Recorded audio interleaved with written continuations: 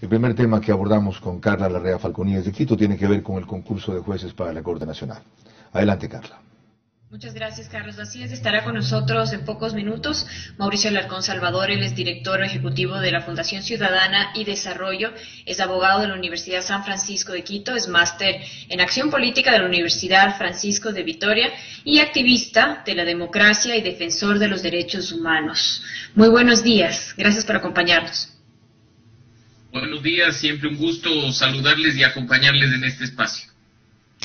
Hay dos hechos que llaman la atención durante el proceso que se está realizando para la selección de 16 jueces y con jueces de la Corte, ya que continúan los cuestionamientos de este concurso. Eh, por un lado, el 26 de noviembre se solicita de parte, hay un pedido de parte del director del Consejo de la Judicatura, Pedro Crespo, hacia el Contralor Pablo Celi para que se realice una auditoría al sistema informático del concurso. Eso por un lado. Y por otro lado, el 22 de diciembre, Diez veedores acreditados por el Consejo de Participación Ciudadana y Control Social decidieron dar un paso al costado. ¿Cómo va el proceso de la auditoría y ustedes tienen algún resultado al respecto? Carla, nosotros desde un inicio habíamos manifestado que nuestra veeduría sería independiente. Desde el inicio de este concurso, que renueva buena parte de la Corte Nacional de Justicia, hemos manifestado nuestra preocupación por algunos hechos que podrían eh, afectar un concurso que en este momento requiere los más altos estándares de transparencia y de idoneidad. Estamos hablando que se renueva prácticamente las tres cuartas partes de la Corte Nacional de Justicia, 16 de las 21 bancas. No solo se trata de las siete que tienen que renovarse por obligación constitucional a partir de 2021, sino, como recuerdan ustedes, otros tantos jueces que fueron cesados a través de un proceso de evaluación integral que llevó a cabo la judicatura. Tú has mencionado algunos hechos, sin embargo hay otros que merecen ser destacados. En primer lugar, al inicio del concurso, la falta de información y la falta de transparencia. No fue sino por presión de las distintas organizaciones que venimos haciendo veeduría que se subió al sistema, a la página web de la judicatura, información respecto de las hojas de vida. Lamentablemente, los procesos de calificación de méritos de oposición no están con toda la documentación en la página web del Consejo, lo cual llama a suspicacias. Y te voy a poner un ejemplo muy simple. Hay requisitos constitucionales para que una persona pueda postular o para que pueda ser juez de la Corte Nacional de Justicia. Más allá de ser ecuatoriano y darse goce de los derechos políticos, requiere tener un título de tercer nivel y haber ejercido la docencia, la profesión de abogado, la judicatura por un lapso mínimo de 10 años. Si revisamos el reglamento eh, que sustenta el proceso, solo el hecho de tener título de tercer nivel y haber ejercido durante 10 años cualquiera de estas vertientes eh, profesionales ya le daría un puntaje a los postulantes. No obstante, de la calificación de méritos, sorprende ver algunos que, por ejemplo, aparecen con calificaciones de 0.7, lo cual ni siquiera correspondería eh, a, los méritos básicos que son precisamente el título profesional o en su defecto también los 10 años de docencia, de judicatura o de ejercicio profesional. Esas son dudas que surgen, pero además esto no es todo y creo que son detalles que lamentablemente en el último eh, periodo han pasado desapercibidos ante la vorágine informativa a la que nos han tenido, pero de pronto aparece un postulante acabada la etapa de méritos del señor Santiago David Ochoa Beltrán, que entra sin ni siquiera tener hasta el momento calificación de méritos. Y entra porque en teoría su postulación entró al buzón de spam de postulaciones. Y hay un informe especial del Consejo de la Judicatura en el que le dicen, bueno, se nos pasó su postulación, disculpe, con fecha 9 de diciembre, cuando este concurso inició, como ustedes saben, eh, a mediados de año, en el que se le dice, no, venga, venga, venga, ingrese nomás al concurso, después vemos cómo solucionamos este tema. Y otros tantos asuntos que han ido apareciendo y que generan cuestionamientos y preocupaciones a la ciudadanía.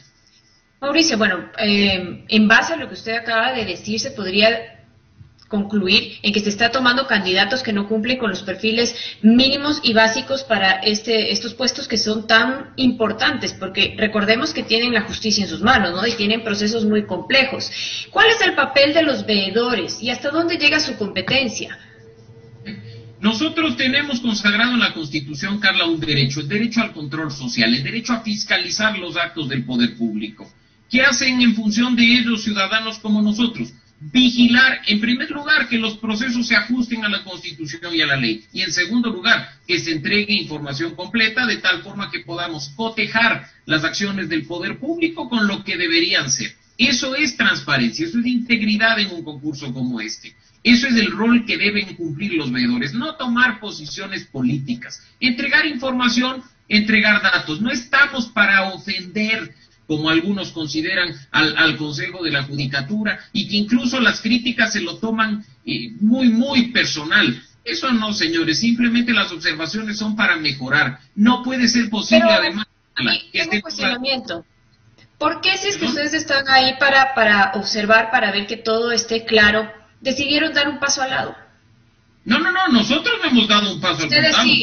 Nosotros no somos veduría del Consejo de Participación Ciudadana. Fundación Ciudadanía y Desarrollo sigue haciendo la veduría, prepara su informe de estas etapas con todos y cada uno de los hallazgos y además, como ha sido nuestra costumbre, solicitaremos una audiencia a la Comisión Interamericana de Derechos Humanos para presentar los resultados de este concurso. Le guste o no le guste a la judicatura, le guste o no le guste al país. Aquí estamos para presentar información. Y ya que acá no se tomen en cuenta las observaciones, esperamos que un organismo que ha venido trabajando a favor de la independencia judicial en Ecuador durante los últimos 15 años preste atención y emita las observaciones del caso para que, ya que ahí están obstinados en continuar con este proceso, pues que para procesos posteriores no se cometan los mismos errores. Bueno, pero aquí hay, un tema, ¿no? Se presentaron 69 postulantes, de los cuales solo 23 han pasado a la fase de prueba práctica que se está realizando desde el día de ayer y finalizaría el día de hoy, en los cuales tienen que obtener 40 puntos. Hay el riesgo de que no se cumpla con las vacantes. ¿Cuál es su perspectiva, su opinión al respecto? Clarísimo, Carla, para que tengas tú una idea. Para la sala de lo contencioso administrativo de la Corte Nacional hay cuatro vacantes. Se presentaron originalmente 13 postulantes. A esta sala precisamente a la que pertenece este señor Ochoa Beltrán, que te cuento que aparece de última hora. Pero de los 13 postulantes originales, siete se quedan en el camino. Seis se mantienen en carrera hasta la etapa de méritos. Pasan la primera prueba, la teórica, en la fase de oposición y con la recalificación apenas quedan dos. El señor Milton Velázquez Díaz y el señor eh, Washington, perdón, no, y el señor Fabián Patricio Racines. Quedan dos personas. La una, además, ojo, con 40.9 de los 40 que le permiten acceder. Y en ese sentido, para cuatro vacantes, dos postulantes, ¿qué va a hacer la judicatura? ¿Declarar desiertas las dos vacantes que quedan? Esas son interrogantes que tenemos. No hay ni siquiera postulantes suficientes. Y además, Carla, ojo con esto, no nos olvidemos que no solo se está designando 16 de los 21 jueces, sino que también de este proceso salen con jueces de la Corte Nacional de Justicia. Eso en pocas quiere decir que los 23 que siguen en carrera tienen ya su cargo asegurado en la Corte Nacional. Yo no sé qué tan óptimo e idóneo sea esto en las circunstancias en las que se ha desarrollado el proceso. Claro que sí. Muchísimas gracias, doctor. Continuamos en estudios con Carlos. Ah, yo sí sé qué tan obvio y turbio es esto, Mauricio. Buenos días, bienvenido. ¿Por qué deja la pregunta sin respuesta? La conclusión es obvia, más aún después de lo que usted acaba de ilustrar. Entonces, ¿qué sentido tiene de que esto plagado de irregularidades continúe? Esa, esa, Carlos Buendía, es una respuesta que tiene que darnos la judicatura. Que insisto. No, pues désela usted como veedor. Hay 10 no, si tú... hay diez de los 24 que consideran que no vale la pena seguir de veedor. Usted, a veces le digo tú, a veces le digo usted, disculpe. ¿ya? Usted nos acaba de decir que continuará hasta el final y que hará un informe dando cuenta de todo lo que ha hallado. ¿De qué sirve el informe? Es post-mortem. Ya está consumado el delito para usar términos penales. Y me consuelo con Mauricio, lo advirtió, Mauricio lo dijo y nada pasó. En, definitiva, lamentablemente que estos últimos años, querido Carlos, todo ha sido cuestión de terminar lamentándonos y que el tiempo nos dé la razón. Tú has visto lo que han pasado, eh, procesos como los anteriores de renovación de la Corte Nacional o los llevados a cabo por el Consejo Transitorio. Con una diferencia. Ahora, al mismo tiempo, se han dado las advertencias y se han exigido las rectificaciones. Aquí me, no se las ha tomado. Ok, entonces, ¿qué hacemos si no se las ha tomado Mauricio? Que se vayan al cuerno estos fulanos, pues. Me refiero a los del Consejo de la Judicatura. Eh, al menos, al menos, Carlos, y esto es muy importante, a diferencia de otros procesos, y aunque a estas alturas se está discutiendo en espacios como este lo que está sucediendo, está poniendo en conocimiento de la ciudadanía hechos que torpedean, por así decirlo, un proceso que debería ser constitucional. So what, so what. Serrat dice, nunca es triste la verdad lo que no tiene remedio. Ah, sí, ahora ya conocemos la verdad, pero igual se cagan en nosotros. Eh, y, lo seguirán haciendo quienes se creen con poder suficiente para hacer lo que les venga en gana. Para usar el mismo término, disculpe la procacidad, ¿usted se va a dejar cagar? No, nosotros vamos yo tampoco. a lo que esté a nuestro alcance. Lamentablemente, como tú sabes, hay postulantes que incluso han presentado acciones constitucionales que se han ido diluyendo en el camino. Mauricio. resueltas porque, Carlos, perdón, pero creo que esto es importante que tengas en cuenta cuestiones como que son los mismos jueces que tienen en su cabeza la amenaza de la judicatura quienes resuelven acciones de protección contra la misma judicatura. Entonces, cuando vemos este círculo vicioso que demanda definitivamente una reforma profunda a este tipo de procesos. Hasta que la reforma se haga, Mauricio, lleguemos al fondo. ¿A quién le conviene esta postergación y esa deslegitimación del, del, del concurso? A los jueces que van a ser relevados, pues. ¿Por qué les conviene? porque hay todavía una mayoría correísta en la justicia que ya está amarrada para los fallos que se les vienen. Y hablando en morocho y hablando en criollo, cuando más si los nuevos no son los limpios que creen, les va a tocar negociar a los reos o acusados un nuevo arreglo con los jueces. Eso es lo que está detrás. Si el Consejo de la Judicatura se hace el que yo no veo y me delegan un señor Salvador a quien me niego a entrevistar porque fue, el que no pudo poner orden ahí para hablar, yo no voy a hablar con los voceros que me digan, sino con los que yo invite, por si acaso. Y aquí una veeduría limpia y dura como la suya, que dice voy a llegar hasta el final y le voy a poner la lápida a esta cosa. Es que no nos queda de otra, lamentablemente, cuando el poder simplemente se ciega, Carlos, cuando los miembros del Consejo de la Judicatura, insisto, se toman críticas como un asunto personal. Además caen en el mismo juego de la época anterior, de acusar a los veedores que los critican de venderse, de tener postulantes. Oiga, ¿y a, usted le importa esa vaina? A mí me importa la independencia de la justicia, Carlos. pero a usted le resbala lo que le digan, pues usted le han dicho cosas. Ah, a usted le han puesto condecoraciones mejores en el gobierno de Correa. Y, y, creo que esta será una medalla más. Ok, no me diga que eso lo disuade entonces ahora. En lo absoluto. Por eso, Carlos, seguimos levantando la voz, seguimos advirtiendo de las irregularidades del proceso. Y ojo, esto no quiere decir que los 23 o quién sabe cuántos, porque después ya sabemos que la situación puede cambiar, sí. en, carrera, no quiere decir que ninguno de ellos está siendo cuestionado por la veeduría. Nosotros estamos observando el proceso. Está claro eso.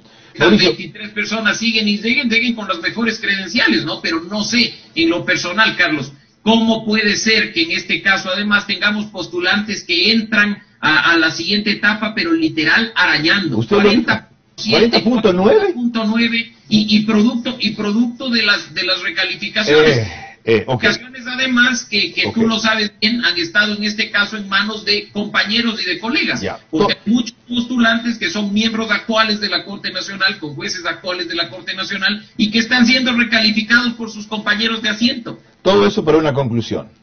¿Qué es peor? ¿Ya? ¿Que siga como está hasta el final del concurso o que se pare y se comience de nuevo? Ni siquiera tenemos suficientes postulantes para llenar las vacantes. Creo que lo más inteligente en este punto sería ponerle un alto al proceso, tomar las correcciones del caso y empezar de nuevo. ¿Por qué le tienen miedo a ellos? Si ya en este momento los tiempos están cruzados con el proceso electoral. Correcto. llegar, al fin con, un, con, un, proceso cuestionado. Que ya sigamos. E-, ese empezar de nuevo, ese empezar de nuevo incluiría a los que pasaron hasta esta etapa Ah, o es borre va de nuevo con todos, incluidos los primeros 100 que fueron calificados y luego los filtros se quedaron. Carlos, deberíamos hacer un borre va de nuevo porque las observaciones incluso han venido en cuanto a las normas del concurso, en cuanto al hecho de cambiar postulaciones en, la, en, puntajes en la marcha, y el hecho de ir moviendo cuestiones o de cambiar tiempos o de abrir espacios. Se tiene que empezar de nuevo y por supuesto si las 23 personas que están actualmente en carrera creen que tienen eh, los méritos suficientes como para ocupar y mantenerse, pues tendrán que repostularse bajo las normas corregidas y bajo un proceso limpio y transparente. Bien, Yo insisto, esto no responsabilizo a ninguno de los postulantes, creo que muchos de ellos además conocidos en la esfera del derecho tienen méritos de sobra para ocupar una banca, pero qué pena que accedan a un cargo en un proceso cuestionado. Así es, así es. Ha señalado usted un camino claro que es lo que quería. Que coincida o yo o no con él es secundario. Muchas gracias, Mauricio.